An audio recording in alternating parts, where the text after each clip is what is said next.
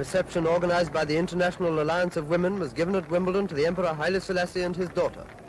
The princess, as you will see, has been buying clothes in London, and no doubt will be a noticeable figure at the dressy functions of the London season.